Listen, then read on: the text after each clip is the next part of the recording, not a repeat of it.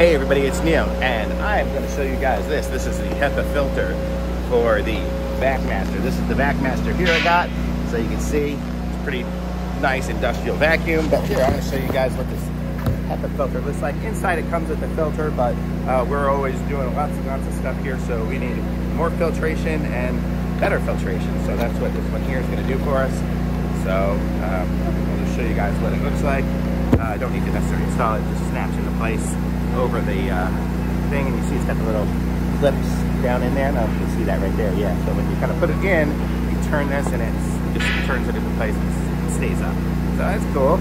So really good. I'm gonna see if I look through, I can see some light through it. So you can see light, but you can't see stuff through it. I can see my hands here. But, uh, so that's good. So it should be able to have airflow and it's filtration. So you don't really see, uh, it's not completely a holes there. So it should be good. So I'm gonna say thumbs up from me as the Vast Back Master HEPA filter, uh, HEPA material filter. So thumbs up from me. Links in the description. Like this video, subscribe to my channel, and I'll be back some more soon.